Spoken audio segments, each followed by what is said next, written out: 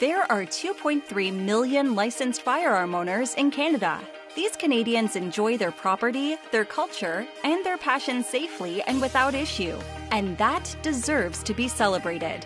On June 4th, Canada celebrates National Range Day.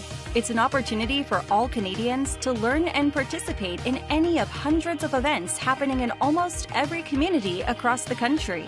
Sport shooters, collectors, recreational shooters, and hunters alike will host the country by opening their doors and their communities to all Canadians. Find an event near you by using our interactive tools at nationalrangeday.ca.